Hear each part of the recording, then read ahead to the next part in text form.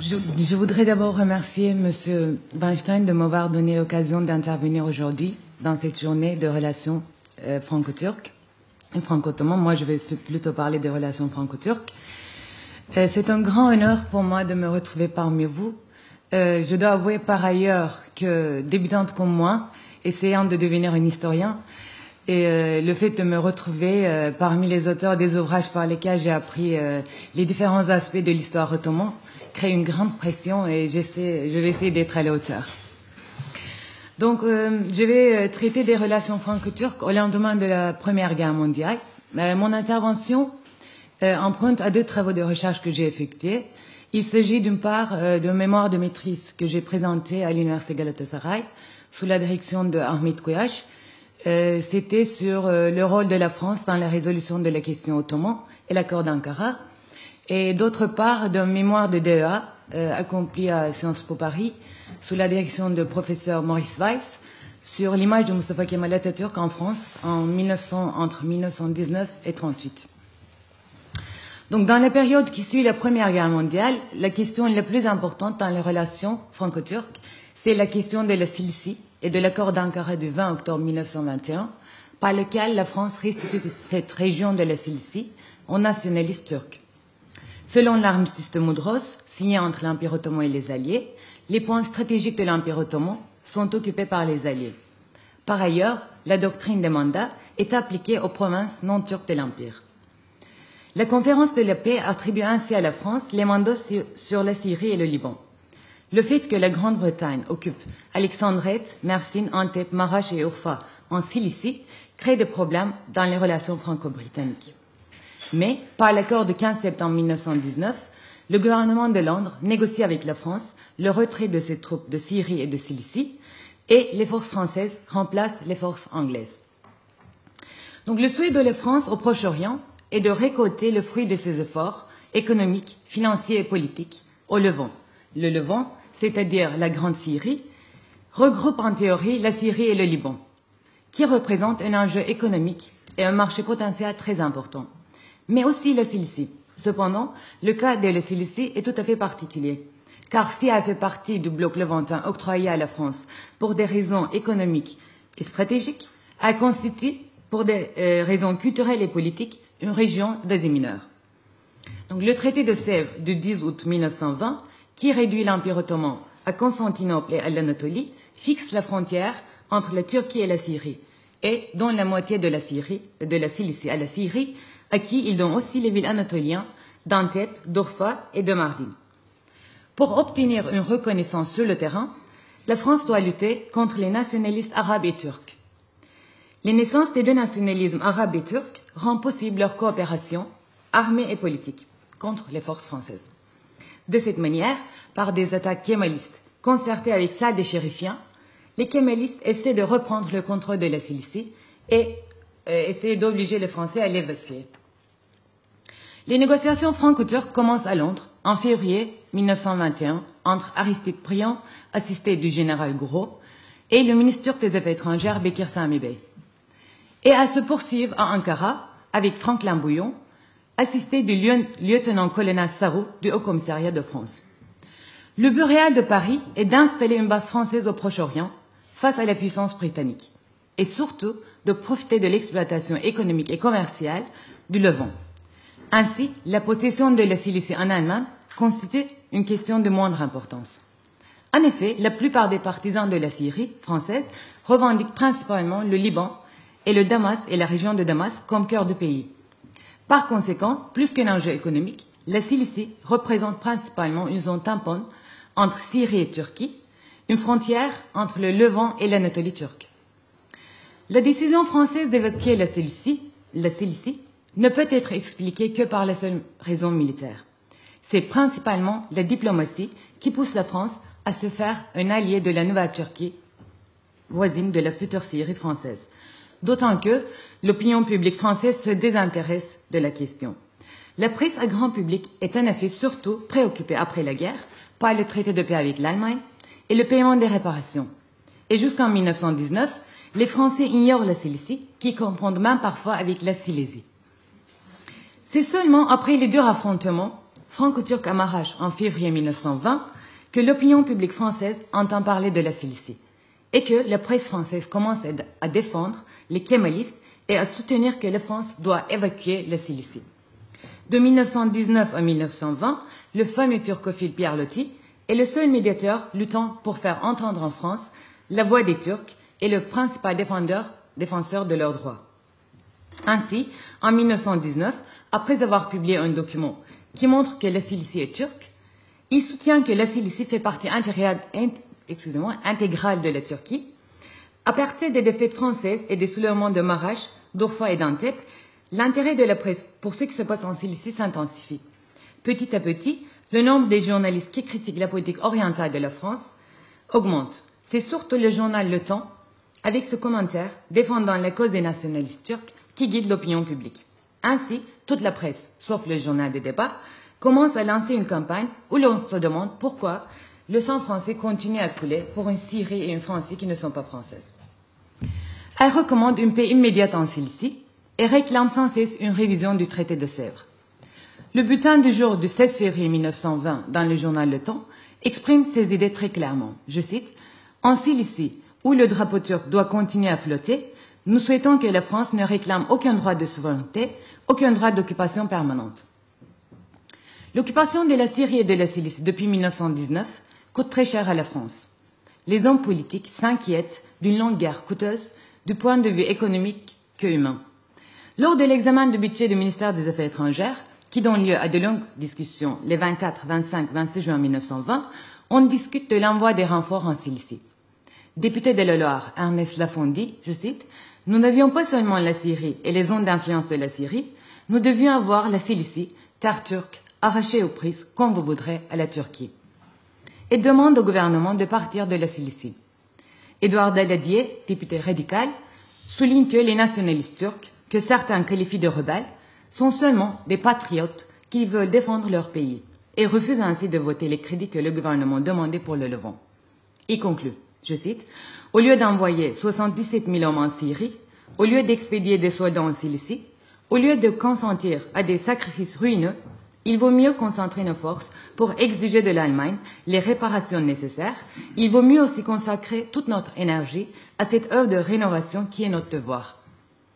Selon un rapport du ministère de la Guerre, daté du 19 février 1921, la France avait dépensé en Cilicie, dans les régions d'Antep, d'Ofa, Mardin et en Syrie, euh, excusez-moi, 881 150 000 francs. Du mois d'avril 1919 au mois de février 1921, et avait employé une force militaire de 65 000 personnes. Pour toutes ces raisons, l'accord d'Ankara est signé le 20 octobre 1921.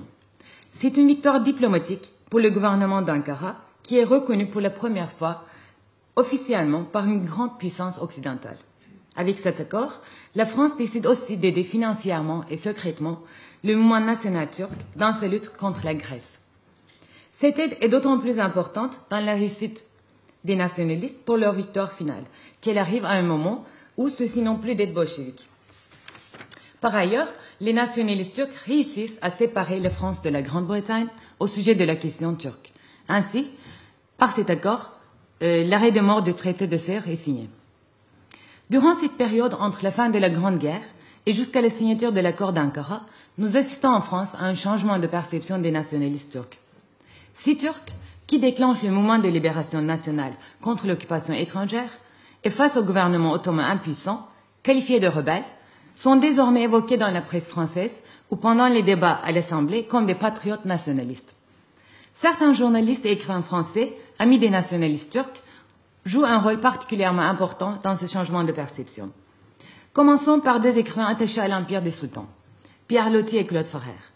Ils défendent l'Empire ottoman sur le plan politique en condamnant ses ennemis, l'Angleterre et la Grèce, qui commettent des crimes en Anatolie depuis l'occupation des territoires turcs. Loti condamne dans un article intitulé La Grécaille l'extermination systématique accomplie avec des raffinements de sauvagerie qui dépassent les imaginations européennes, un peu partout, en tous les lieux, en Turquie, par l'armée grecque, qui considère comme le bras extérieur de l'Angleterre. De même, Claude Farrer insiste sur les atrocités grecques. à Izmir, lors du débarquement Elan, l'infamie des insultes à la population turque inoffensive et l'horreur des meurtres, des viols, des tortures, tout cela est une tache de boue et de sang sur la soie déshonorée à jamais du drapeau grec. Farrer rencontre Mustafa Kemal lors de son voyage en Turquie pendant la période qui va de 5 au 23 juin 1922. Après avoir passé 13 jours à Istanbul et rencontré aussi Vahdettin le sultan Mehmed VI, il passe en Anatolie pour rencontrer Mustafa Kemal qui se trouve au front d'Izmit pour inspecter les troupes. Il a la possibilité lors de son voyage de rencontrer à plusieurs reprises Mustafa Kemal autour d'un dîner, d'un déjeuner ou d'un thé. Lors de leur rencontre, Farrer et Mustafa Kemal discutent du conflit turco-grec. Et Farrer essaie d'en faire prédire à Mustafa Kemal le résultat. Mustafa Kemal est convaincu de sa victoire prochaine. Dans un article rédigé avant la fin des affrontements, Farrer le soutient en déclarant qu'une victoire turque se prépare. Mustafa Kemal prononce un discours devant la population en recevant Claude Farrer, et cela produit une grande impression dans les milieux gouvernementaux et parlementaires. Le voyage de Farrer a un autre, un autre aspect voilé. Farrer est en effet envoyé par le haut commissaire français à Istanbul, le général Pelé, afin de donner certains conseils utiles à Mustafa Kemal et de connaître ses moyens et ses intentions. Léon Rouillon, soldat français des forces d'occupation en Turquie, est aussi un partisan de la cause turque dans la guerre gréco-turque. Il souligne dans son ouvrage Pour la Turquie qu'en permettant à la Grèce de détruire la Turquie, la France détruit aussi à jamais ses intérêts et son influence prépondérante au Levant. Il dénonce d'abord l'ignorance complète de l'opinion française quant aux questions orientales et sa politique orientale détestable. Rouillon, qui blâme les Grecs, accuse aussi l'Angleterre d'utiliser cette ignorance de la France. Par conséquent, il appelle en 1920 Milran, ministre des Affaires étrangères, à conclure une paix immédiate avec les Turcs, à réviser complètement le traité de Sèvres et affirme que la France doit se constituer l'amie et la protectrice de la Turquie et doit prendre nettement parti pour cette dernière contre la Grèce de Constantin.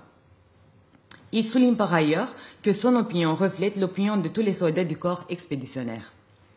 Jules Albert de France, haut commissaire français à Istanbul, écrit d'ailleurs à Stéphane Pichon, ministre des Affaires étrangères, qu'il est à craindre qu'il n'y ait chez les officiers du service de renseignement envoyés en, Asie mineure par l'état-major une certaine tendance à trop marquer leur sympathie pour le mouvement nationaliste. Cette idée est aussi soutenue par Michel Payares, journaliste français à Istanbul, pour qui tous les officiers français à Istanbul sont des turcophiles qui voyaient les Anglais comme ennemis. Loti et ont défendu la Turquie et les nationalistes sans connaître le véritable caractère de la guerre menée en Anatolie. Mais leur point commun est de montrer comme cible l'Angleterre et la Grèce comme son instrument, tout en présentant la France comme une amie éternelle de la Turquie. Parmi ceux qui ont défendu ou ceux qui ont orienté l'opinion publique en France en faveur de la Turquie, il n'y a pas que Farrer et Loti, qui l'ont fait sans vraiment connaître le terrain du conflit. Il y a aussi ceux qui ont plaidé tout en, toute connaissance de cause. Ainsi, la journaliste Berthe Georges Gollis a eu, a eu, aussi la possibilité, dès le déclenchement du mouvement national, de pénétrer de très près le sac des dirigeants nationalistes et elle a eu des relations privilégiées et amicales avec Mustafa Kemal. Gollis est une journaliste freelance et ses articles sont publiés dans plusieurs revues, à savoir la Revue de Paris, la Revue hebdomadaire, L'Orient et l'Occident et l'Opinion. Après un premier voyage de trois mois en 1919, elle écrit en septembre 1919 que l'armée turque est tout entière acquise au mouvement national. Et hormis le parti vieux turc, qui comprend quelques membres de la famille impériale et quelques éléments du vieux clergé, tout le reste, l'immense majorité de la Turquie musulmane, est déjà en septembre 1919 acquis au mouvement nationaliste, son nettement nationaliste. Ainsi, elle pense qu'il faut immédiatement conclure la paix avec les nationalistes turcs. Le correspondant particulier du temps à Istanbul, du journal Le Temps à Istanbul, conseille lui aussi de ne pas négliger le mouvement d'Anatolie, qui va bientôt constituer le véritable gouvernement turc. En mars 1921, Golis revient en Turquie et y reste jusqu'au mois de mai. Lors de ce voyage, elle visite toute l'Anatolie et arrive à Ankara en mai où elle fait pour la première fois la connaissance de Mustafa Kemal. Elle est surprise de le trouver si européen. Je cite, Je ne m'attendais aucunement à le trouver aussi européen sous l'uniforme, d'une élégance aussi raffinée. Cette, surprise s'affirme de plus en plus. Au cours de nos divers entretiens, j'allais m'étonner de son sens européen, de sa parfaite connaissance de tout ce que de tout ce que se dit et s'entend à Londres, Paris, Rome, Berlin. Quelle volonté, quelle lueur et que d'affinement chez ce civilisé à l'extrême. En novembre 1921, Bert Georges Golis revient à Ankara et réside cette fois-ci dans une petite résidence juste à côté de la maison de Mustafa Kemal, résidence que ce dernier fait préparer pour elle. Elle est l'un des premiers écrivains français qui obtient l'autorisation d'aller jusqu'à Ankara pendant la guerre d'indépendance. Golis n'a aucune mission, même officieuse, mais a été chargée elle-même d'une mission de médiation entre le gouvernement français et les nationalistes.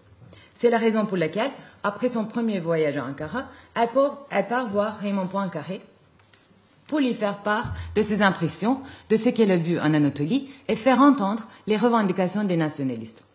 Par ailleurs, elle fournit de temps à autre des renseignements au Quai d'Orsay. Mais c'est surtout lors de la conférence de Lausanne qu'elle envoie des lettres au ministère des Affaires étrangères et il nous semble que c'est à ce moment-là qu'elle est chargée d'informer les autorités françaises de l'état d'esprit de la délégation turque et si possible d'influencer les représentants du gouvernement d'Ankara pour les amener à se rapprocher des positions de la France. À Lausanne, les relations turco-françaises ne sont en effet pas faciles. Golis est l'auteur de quatre livres et de nombreux articles sur la Turquie, pour la plupart écrits pendant les années de la guerre d'indépendance.